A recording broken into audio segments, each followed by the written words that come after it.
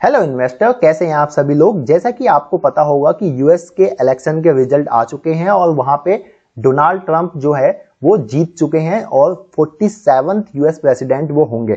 ये एक बहुत ही बड़ा इवेंट था यूएस के हिसाब से। प्लस अगर आप जियो पॉइंट ऑफ़ व्यू से देखो या फिर stock market point of view से देखो तो ये एक बहुत ही बड़ा इवेंट है और यहाँ पे आप देखोगे कि जो कमला हैरिस हैं, वो हार चुकी हैं और डोनाल्ड ट्रंप यहाँ पे जीत चुके हैं और वो अगले यूएस के प्रेसिडेंट होंगे। तो इस वीडियो में हम बात करेंगे कि डोनाल्ड ट्रंप के प्रेसिडेंट बनने से किस तरीके से इंडियन स्टॉक मार्केट में एक इम्पैक्ट आएगा राइट right? वो इम्पैक्ट पॉजिटिव वे में हम यहाँ पे डिस्कस करेंगे एज वेल एज कुछ हम डिसएडवांटेजेस भी यहाँ पे देखेंगे। प्लस जियोग्राफिकल व्यू से अगर मैं बात करूँ तो वहाँ पे डोनाल्ड ट्रंप के प्रेसिडेंट बनने से क्या क्या चीज़ें चेंज हो सकती है, उसके बारे में हम बात करेंगे।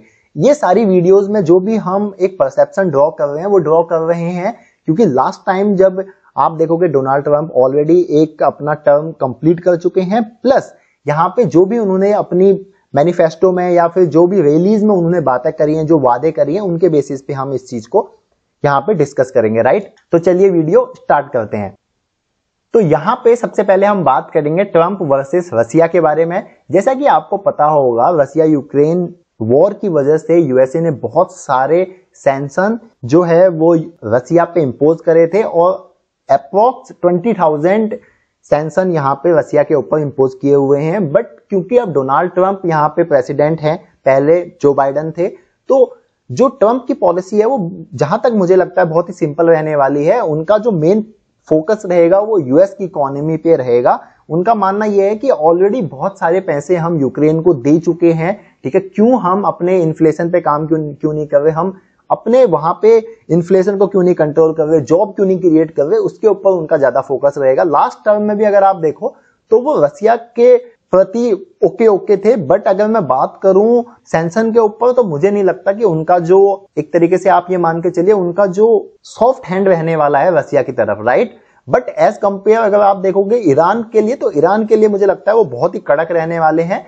मोर देन जो बाइडन ठीक है? जो बाइडन थोड़ा सा नरम थे, अगर मैं बात करूँ ईरान के परस्पेक्टिव से बट ट्रंप यहाँ पे इतना नरम नहीं रहेंगे ईरान के परस्पेक्टिव से बट रसिया के परस्पेक्टिव से maybe they could be more soft आगे अगर मैं बात करूँ ट्रंप वर्सेस चाइना ठीक है? तो यहाँ पे अभी जो पॉलिसी अगर लास्ट टाइम की अगर हम बात करें, जब ट्रंप ने एक अपना प्रेसिडेंट का पूरा टर्म कंप्लीट किया था तो वहाँ पे जो चाइना को उन्होंने बहुत अच्छे तरीके से काउंटर किया था। और आपको पता होगा कि चाइना और इंडिया के बीच में एक कॉम्पिटिशन बना रहता है राइट और चाइना बहुत ज़्यादा डंपिंग भी करता है, ये भी हम सभी जानते हैं। तो यूएसए बहुत ही अच्छे तरीके से आप देखोगे कि अभी ट्रंप के टाइम पे वो बहुत ज़्यादा हो सकता है, उन पे टैरिफ बहुत सारे लगा सकते हैं चाइना पे चाइना को काउंटर कर सकते हैं। और जितना ज़्यादा कोई चाइना को काउंटर करेगा, उसका इंपैक्ट आएगा इंडिया पे। मतलब इंडिया को एक एडवांटेज मिल सकता है with respect to stock point of view से भी और with respect to other perspective तो अगर हो सकता है कि बहुत सारी इन्वेस्टमेंट भी इंडिया में आए with respect to companies right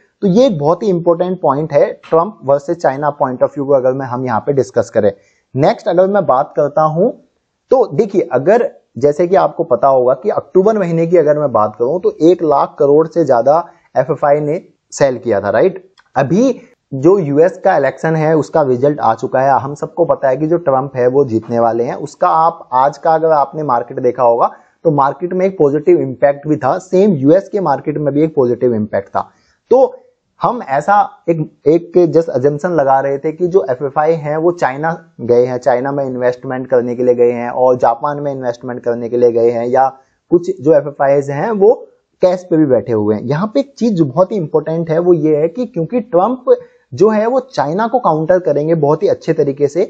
तो अगर कोई ये सोच रहा था कि चाइना का जो मार्केट है वो अंडर वैल्यूड है तो मोस्ट प्रोबेबली ऐसा हो सकता है कि वहाँ से जो इन्फ्लोज है वो रिटर्न आ सकता है कहाँ पे?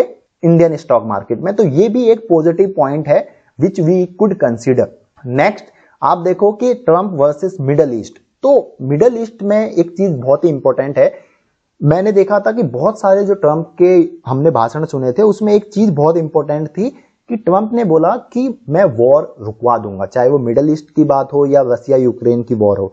अगर वॉर रुकती है तो सबसे इंपॉर्टेंट चीज़ है, जो क्रूड ऑयल का रेट है वो कम होगा राइट और एनर्जी क्राइसिस यहाँ पे कंट्रोल होंगे। तो ऑब्वियसली जो एनर्जी वाले स्टॉक्स हैं, उन पे एक ध्यान दिया जा सकता है राइट दूसरा, यहाँ पे एक चीज़ और है कि अगर हम बात कर रहे हैं ईरान की तो ईरान के लिए ट्रंप का जो सॉफ्ट हैंड है वो इतना नहीं होगा। वो बहुत, मुझे लगता है कि वो इसराइल को बहुत ही ओपन हैंड दे सकते हैं राइट बट यहाँ पे अगर आप जो बाइडन की बात करो तो जो बाइडन थोड़े से सॉफ्ट थे with respect to Trump right दूसरी चीज़, जो सबसे इंपॉर्टेंट चीज़ ये है कि आप रसिया के पॉइंट ऑफ़ व्यू से देखो तो ट्रंप रसिया के लिए थोड़ा ओके ओके हैं बट ईरान के लिए वो बहुत ज़्यादा सख्त हैं, या रूड हैं आप ये कह सकते हो राइट बट अगर मान के चलिए मिडल ईस्ट में जो अभी तनाव है, अगर वो कंट्रोल में आ जाता है रसिया यूक्रेन का जो वॉर है, वो कंट्रोल में आ सकता, आ जाता है तो एक क्राइसिस खत्म होगा तो इससे यूरोप प्लस मिडल ईस्ट दोनों में स्टेबिलिटी आएगी और उससे कहीं ना कहीं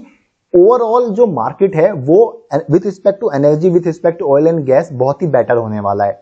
तो अब हम बात करते हैं कुछ सेक्टर की जो जिनको एडवांटेज मिल सकता है, क्योंकि ट्रंप यहाँ पे इलेक्ट हुए हैं राइट तो यहाँ पे जो सेक्टर है, पहला सेक्टर जो मुझे लगता है वो है आईटी सेक्टर क्योंकि आईटी सेक्टर का इंडियन आईटी सेक्टर का जो मेजर रिवेन्यू आता है वो यूरोप और यूएसए से आता है मोर देन 70 परसेंट राइट इसलिए अगर आप आज का जब रिज़ल्ट अनाउंस हुआ था तो आप देख सकते हो कि निफ्टी आईटी में ठीक ठाक थ्री परसेंट किया ऑलमोस्ट फोर परसेंट की एक अप ट्रेंड आया था राइट तो ये बहुत ही इंपॉर्टेंट है इसको समझना। आप कोई भी, अगर आप लार्ज कैप स्टॉक देखो या फिर मिड कैप स्टॉक देखो तो वहाँ पे भी एक अच्छी खासी रैली आई थी। यहाँ पे मैं किसी भी स्टॉक को सेल या बाय करने का रिकमेंडेशन नहीं दे रहा हूँ। वो सोलली आप खुद रिसर्च कीजिए, अच्छे से रिसर्च कीजिए। वैल्यूएशन देखिए, अपने फाइनेंशियल एडवाइजर से कंसल्ट कीजिए देन उसके बाद आप सेल या बाय कीजिए। तो आईटी सेक्टर पे हम ध्यान दे सकते हैं after the electing Donald Trump then defence sector के ऊपर हम ध्यान दे सकते हैं। यहाँ पे बहुत सारी डिफेंस सेक्टर की कंपनीज़ हैं जो आप देख सकते हो यहाँ पे राइट उस पर हम ध्यान दे सकते हैं। उनको इंडिविजुअली हम पढ़ सकते हैं और उसके बाद अपना एक पॉइंट ऑफ़ व्यू रख सकते हैं। अगर आप डिफेंस सेक्टर में भी देखोगे तो आज अच्छी खासी रैली हुई थी after that election announcement then electric vehicle and auto share देखिए, एक छोटी सी चीज़ मैं आपको बताना चाहूँगा। जब डोनाल्ड ट्रंप इलेक्ट हुए हैं तो वहीं पे इलॉन मस्क बहुत ज़्यादा हैप्पी हैं।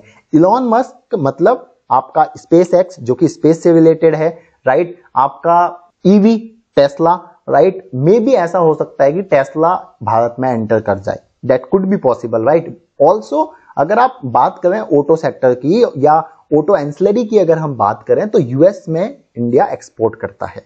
तो इसलिए ईवी सेक्टर में ऑटो शेयर पे फोकस किया जा सकता है और आप यहाँ पे देख सकते हो निफ्टी ऑटो भी आज 1.25 परसेंट की रैली यहाँ पे हुई है। That is positive right but ऐसा ज़रूरी नहीं है कि that will be that rally will be sustain for the long term that we will have to see individually and we will have to study the individual stocks okay साथ में हमें इस बात का भी ध्यान देना चाहिए कि वैल्यूएशन कहाँ पे है। ऐसा नहीं कि आप बहुत ही ओवरबाउट किसी स्टॉक्स को ले लो नेक्स्ट है फार्मा सेक्टर फार्मा सेक्टर पे भी एक बहुत ही अच्छी अपॉर्चुनिटी है क्योंकि इंडिया फार्मास्यूटिकल फार्मा सेक्टर में लीडर है राइट ये आपको पता होगा। तो फार्मा सेक्टर में भी आ, आज एक अच्छी रैली थी। तो फार्मा जो इंडेक्स है फार्मा जो सेक्टर्स है उसमें जो शेयर्स हैं उनको भी अपन देख सकते हैं और अच्छे से पढ़ के एक इन्वेस्टिंग अपॉर्चुनिटी क्रिएट की जा सकती है। नेक्स्ट अगर आप देखोगे तो यहाँ पे कुछ और स्टॉक्स हैं या सेक्टर हैं जिनके ऊपर अपन डिस्कस कर सकते हैं, जैसे कि केमिकल स्पेशलिटी शेयर्स आप बैंक देख सकते हो बैंक में भी आप लार्ज कैप बैंक और जो मिड कैप बैंक है मतलब जो प्राइवेट बैंक है, उनके ऊपर हम बात कर सकते हैं। आज बैंक में भी एक पॉइंट थ्री फोर परसेंट की रैली यहाँ पे दिखाई दी थी। जब मैं बैंक की बात करता हूँ तो एक बार आप लार्ज कैप बैंक या फिर प्राइवेट बैंक पे कंसिडर कर सकते हो और उनको इंडिविजुअली स्टडी कर सकते हो। सेम पीएसयू शेयर पे भी यहाँ पे फोकस किया जा सकता है because maybe there could be more inflows could come from the outside market so ये कुछ शेयर थे, कुछ सेक्टर्स थे जहाँ पे डोनाल्ड ट्रंप की वजह से मे बी कुछ पॉजिटिव इम्पैक्ट आ सकता है।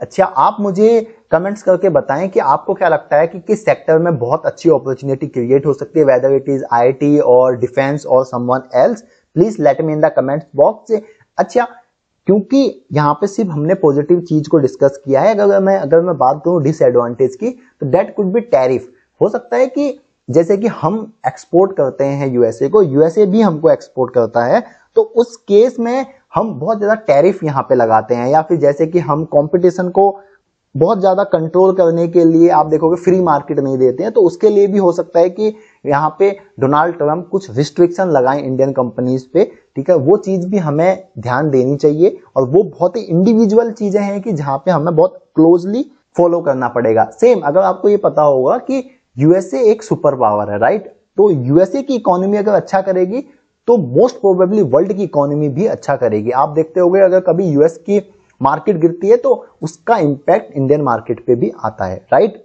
so that was for the today's video thanks for watching I hope कि आपको ये वीडियो पसंद आई होगी। अगर आपका कोई भी कमेंट है तो आप कमेंट्स बॉक्स में बता सकते हो। Thank you thank you very much